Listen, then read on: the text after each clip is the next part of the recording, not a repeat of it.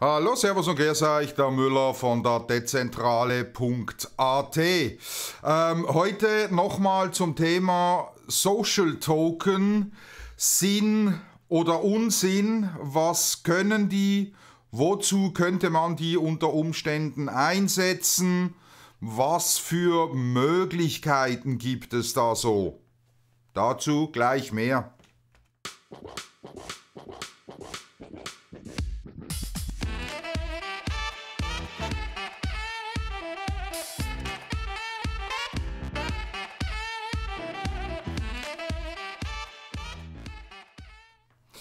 So, also, wie ich im äh, letzten Video, das blende ich euch da oben ein, ähm, da ging es quasi Social Token um, um eine Einführung. Dort habe ich euch drei Plattformen vorgestellt, Rally, Roll und BitCloud, die im Prinzip diese äh, Social Token anbieten, sagen wir es jetzt mal so, wobei Roll und Rally da habe ich versucht, an den eigenen Token heranzukommen. Da habe ich äh, bis jetzt noch nichts gehört und das ist schon einige Zeit her. Also dort legt man schon Wert auf irgendwelche ähm, bekannte Influencer oder so oder zumindest Leute, die unfassbar viel Kohle im Hintergrund haben, die dort ihren Social Token launchen können.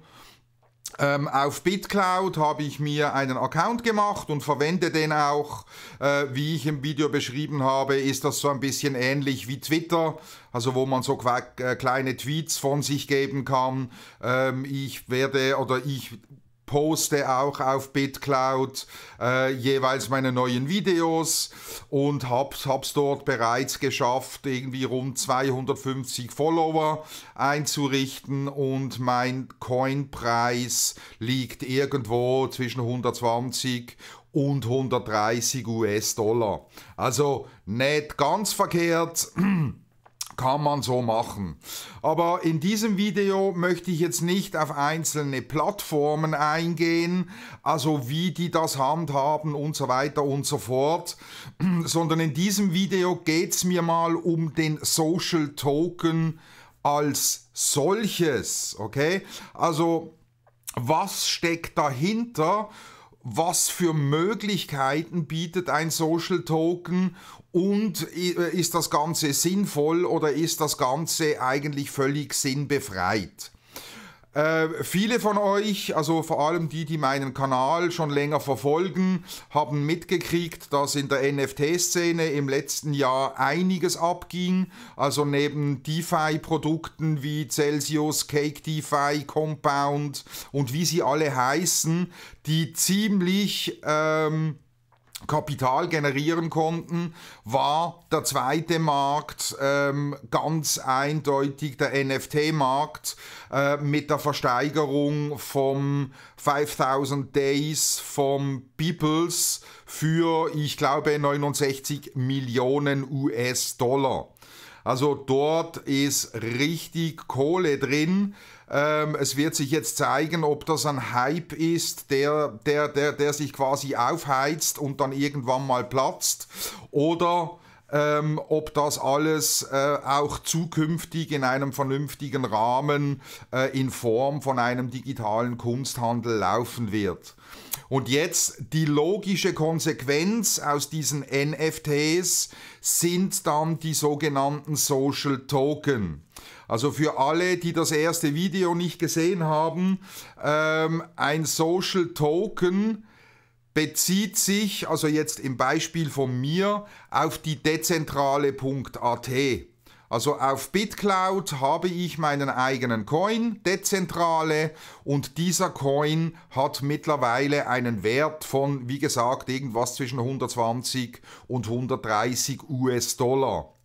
Jetzt, wie generiert so ein Coin oder respektive speziell auf BitCloud, wie generiert ein, ein Coin jetzt einen Wert?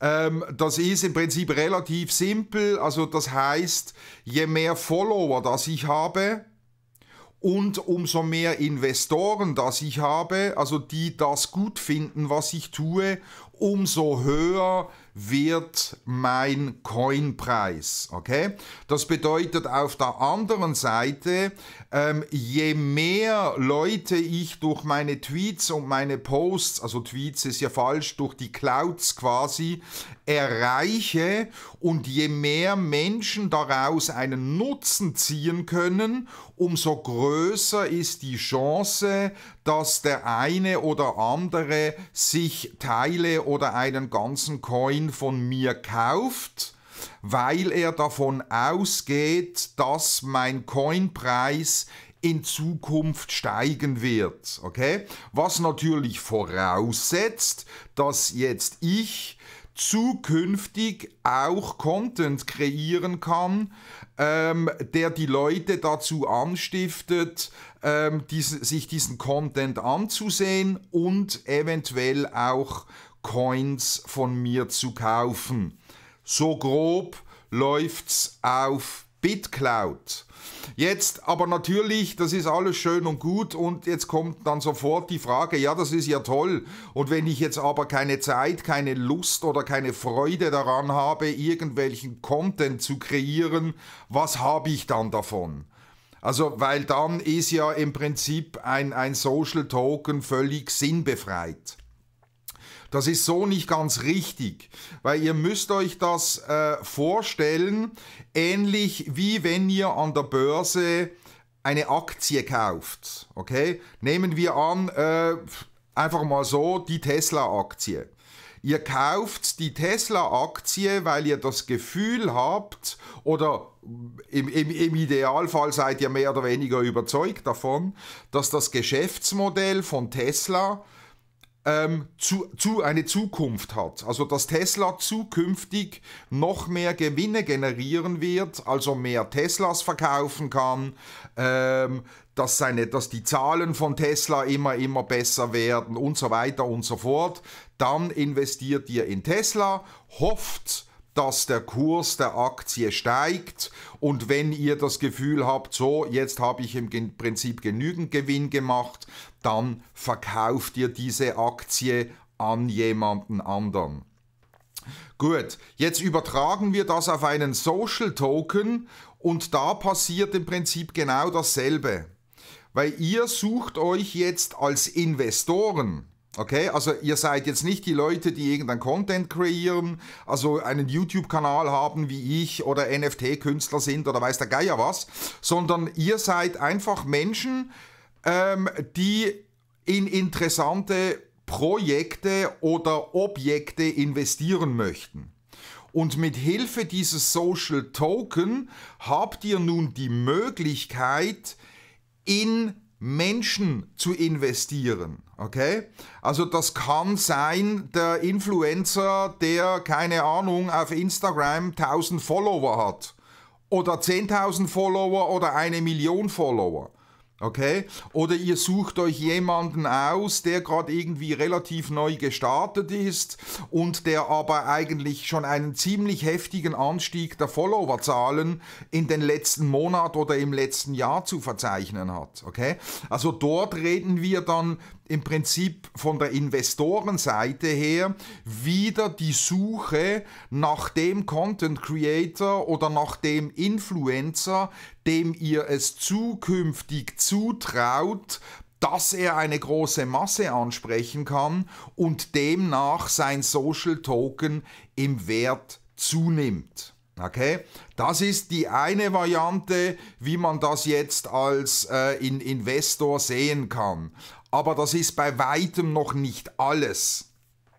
Weil jetzt stellt euch mal vor, ähm, ihr könntet im Prinzip Anleihen auf eine Person kaufen. Okay? Klingt jetzt zuerst mal völlig verrückt und klingt auch ein bisschen nach modernem Sklavenhandel, ist es aber nicht. Okay? Jetzt stellt euch zum Beispiel vor, ich, der Müller, also die Dezentrale, ähm, keine Ahnung, braucht ähm, neues Videoequipment, neue Rechner und weiß ich nicht was alles zum Preis von, sagen wir jetzt einfach mal 10.000 Euro. Okay? Jetzt kann ich hergehen und im Prinzip meinen eigenen Social Token verkaufen. Okay? Also das würde bedeuten, sagen wir jetzt mal, wir nehmen diese 10.000 ähm, Euro, die ich brauche, und ich verkaufe 1000 Social Coins von mir, also sprich dezentrale. Okay? Soweit so klar. Und jetzt gehen wir weiter davon aus, wie gesagt, ich benötige 10.000, ich verkaufe 1.000, das heißt ein Social Coin von mir kostet 10 Euro. Und jetzt gehe ich aber her und gebe jedem, der quasi direkt von mir diesen Token kauft, einen Rabatt von 20%. Okay? Also das würde dann bedeuten, äh, ihr würdet nur rund 8 Euro pro Token kaufen. Äh, zahlen. So, an, an, andersrum. Okay, jetzt wird sie wieder einige fragen, ja toll, und was habe ich dann davon? Also ich, der Müller quasi. Äh, ich habe dann 8000 zur Verfügung, verspreche aber, diese ganzen Token zum Nennwert zurückzukaufen. Okay? Also da könnte man zum Beispiel sagen, ähm, in, keine Ahnung, in drei Jahren also bis in drei Jahren kaufe ich alle Token zurück zum Nennpreis von 10 Euro pro Coin. Okay? Das bedeutet nichts anderes, als dass die Besitzer von meinem Coin im Prinzip eine Anleihe gekauft haben. Sie haben mir Geld zur Verfügung gestellt, damit ich meine Investition tätigen kann und ich wiederum verspreche innerhalb von drei Jahren alle meine Token, die bei diesem Sale rausgegangen sind, also diese 1000 in Wirklichkeit, vom jeweiligen Besitzer, wer es dann auch immer sein wird, zurückkaufe. Das bedeutet, ihr hättet einen Return of Investment innerhalb von drei Jahren von 20%. Okay? Es würden wahrscheinlich nicht 20% sein, weil das ist gerade ein bisschen sehr heftig, aber nur, dass ihr versteht, um was es da geht. Okay? Also das wäre eine Möglichkeit, um eben, sagen wir jetzt mal im weitesten Sinne, ein Crowdfunding zu organisieren. Und zwar ein Crowdfunding mit meinem Social Token. Okay? Also das wäre eine Variante, wie man so einen Social Token einsetzen könnte. Jetzt ist es aber natürlich weiterhin so, dass vielleicht der eine oder andere nicht diese drei Jahre warten möchte, bis er dann seine 20% Gewinn macht. Okay? Das heißt, er würde hergehen und sagen, okay, ähm, oder ich muss kurz anders sagen, weil das würde ja bedeuten, äh, pro Jahr 6,33, schlag mich tot, irgendwas, Prozent Gewinn pro Jahr. Und jetzt kann man aber natürlich zum Beispiel hergehen und das auf einem Sekundärmarkt einfach vorher verkaufen. Okay? Also zum Beispiel, keine Ahnung, einer hat genug, das ist ja, ich habe jetzt keine Zeit mehr so lange zu warten. Ich verkaufe meinen dezentrale Coin für diese 8 Euro plus 6,33 Prozent. Okay? Und dann kann der nächste, welcher auch immer Marktteilnehmer findet, oh, coole Idee, mache ich, ich kaufe mir die diesen Token. Und somit hätten wir bereits einen Secondary Market, also im Prinzip vergleichbar mit einer Börse, wo es ja die IPO, also das heißt das äh, Initial Public Offering, wo die Aktien quasi das erste Mal von der Firma nach außen verkauft werden und dann haben wir den Secondary Market, die normale Börse, wo Aktienbesitzer ihre Aktien kaufen und verkaufen. Und dasselbe passiert ziemlich sicher auch mit den Social Coins. Und wenn man das jetzt eben als Beispiel, als Anleihe sieht, wäre das eine Möglichkeit, wie so ein Social Token eingesetzt werden kann. Okay? Also das ist mal eine Möglichkeit, wie man so einen Social Token einsetzen kann, nämlich ganz einfach, um Crowdfunding zu betreiben, um eben neues Videoequipment, neuen Rechner, neues weiß ich nicht was zuzulegen und dann halt diese Anleihen, also diese Social Token, nach einer bestimmten Zeit oder auch während einer bestimmten Zeit wieder von den Tokenholdern oder Coinholdern zurückkauft. Das wäre mal eine Variante. Die andere Variante ist eher ähm, wie bei einer Aktie, also wo es wirklich darum geht, ähm, dass, dass man investiert in der Hoffnung oder in der Annahme, dass der Herausgeber dieses Coins, also in meinem Fall äh, der, der, des dezentrale Coins, dass ich in Zukunft, sagen wir jetzt mal von meinen rund 160 ähm, Followern auf YouTube, dass ich vielleicht in einem halben Jahr oder in einem Jahr, keine Ahnung, 2000 Follower habe. Okay?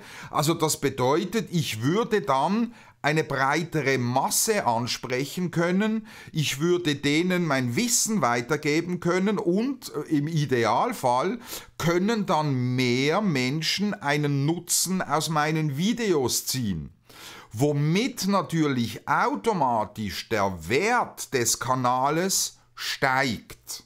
Okay?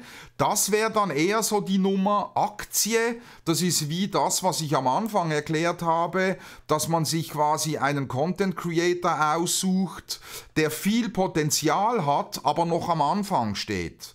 Und wo man im Prinzip darauf wettet, dass der zukünftig Traffic generieren wird und qualitativ hochwertigen Content produziert. Also das wäre dann die Aktiennummer. Auch dort ist es natürlich möglich, ähm, dass sich ein Secondary Market herausbildet. Also dass diese Coins von diesen äh, Creatoren, Content Creatoren, im, in unserem Beispiel jetzt von mir, dass die im Secondary Market gehandelt werden. Und natürlich auch durch das Handeln dieser Coins ähm, wird natürlich auch eine Wertsteigerung möglich sein. Okay? Also je mehr Menschen diesen Coin haben wollen, umso mehr wird der Preis dieses Coins ansteigen. Ganz klar.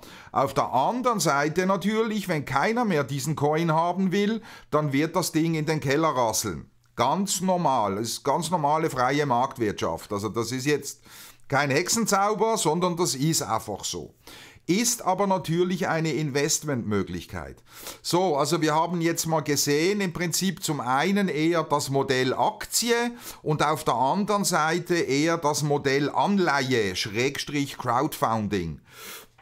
Ähm, jetzt gibt es natürlich dann noch andere Möglichkeiten und zwar, dass ähm, der Content Creator, also wieder in diesem Beispiel ich, zum Beispiel mit meinem Coin Menschen bezahle. Okay? Also zum Beispiel, wenn irgendwer äh, meine Videos liked oder spreadet oder einen Kommentar dazu abgibt, ähm, also in irgendeiner Form dazu beiträgt, dass mein Kanal wächst, dann könnte ich diese Person mit meinem eigenen Token bezahlen.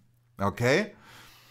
Da könnte der Vorteil darin liegen, ähm, dass natürlich auch hier, je größer der Kanal wird, ähm, umso mehr wird vermutlich dieser Coinpreis ansteigen und auch dort in, in diesem Beispiel besteht natürlich die Möglichkeit eines Secondary Markets, also dass mein Coin plötzlich untereinander ausgetauscht wird oder respektive, dass da eine Art Börse entsteht, wo mein dezentrale Coin gehandelt wird.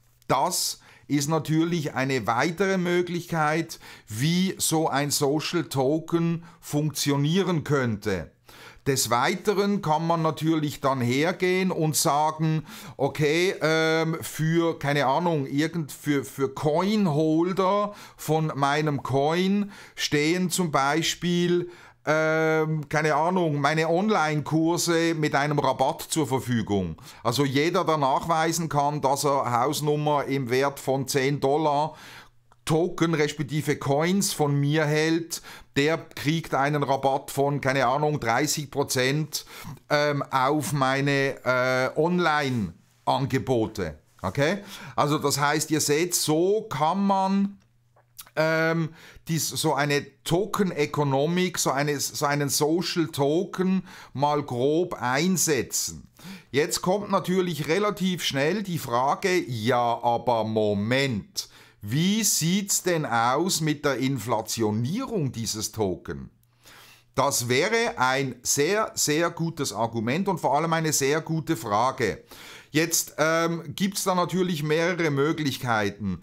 Die eine Möglichkeit ist, dass mein Social Token, sagen wir mal, es gibt nie mehr als, keine Ahnung, 10.000 Stück von denen zum Beispiel. Also dann würden wir, äh, äh, der würde sich dann ähnlich verhalten wie quasi der Bitcoin, der irgendwann mit 21, äh, 21 Millionen gedeckelt ist. Okay? Jetzt kann man natürlich sagen, okay, diese Hausnummer 10.000 dezentrale Token werden auf einmal geschürft und stehen zur Verfügung und werden dann in Umlauf gebracht. Eben sei das in Form von Crowdfunding, sei das in Form von, äh, vom Bezahlen von Dienstleistungen, wie schon erwähnt, wenn andere Mitmenschen anfangen, meinen Content zu spreaden, zu kommentieren, zu liken und so weiter, dass die dann bezahlt werden. Das ist die eine Variante. Die andere Variante, das ist übrigens die, die auch BitCloud eingeschlagen hat, Dort ergibt sich die Tokengrenze durch den Preis. Also BitCloud geht davon aus, also dass die allertollsten und sensationellsten Content Creator, also wo der Tokenpreis dann irgendwo bei, keine Ahnung, 30.000 US-Dollar liegt, dass alleine durch den Preis was ein solcher Token kostet, im Prinzip ein Hardcap eingezogen wird. Weil irgendwann wird es dann so sein, dass niemand mehr hergeht und einen ganzen dieser Token kauft, weil der einzelne Token einfach viel zu teuer ist, sondern halt nur noch Bruchteile, also 0,001 Token von diesem sensationellen Influencer. Und dadurch ähm, wird natürlich auch die Tokenanzahl nach oben extrem runtergefahren. Also das bedeutet, je teurer ein Token wird, umso weniger neue Token werden entstehen. Also das heißt, wir haben dann auch im Prinzip eher ein, äh, ein deflationäres Szenario, nämlich dass die Token ähm, nur noch gering wachsen, der Preis des einzelnen Token aber immer größer wird, okay? Und je größer der Preis dieses Tokens, umso weniger neue Token werden dazukommen, okay? Das ist so ein bisschen der Weg, den BitCloud einschlägt. Äh, Roll und Rally machen das anders. Die haben einen Hardcap von Maximum, äh, ich glaube, 10 Millionen Token, was Roll betrifft. Wobei nagelt mich da bitte nicht fest. Es kann genauso gut Rally Rallye sein. Aber das sind so die zwei Möglichkeiten, die wir haben, um eben diese Inflation äh, in Schach zu halten, respektive ähm, diese in Inflation durch Tokenpreise in Schach zu halten. Also dass da nicht plötzlich eine Blase entsteht, dass da plötzlich Hunderttausende von dezentrale Coins unterwegs sind und im Prinzip jeder Coin immer, immer, immer, immer, immer weniger wert wird. Also so wie es gerade mit Euro, Schweizer Franken und US-Dollar passiert. Okay? Also das wäre so die Inflationsabwehr, wo man grundsätzlich tendenziell in einem deflationären System drin ist. Okay?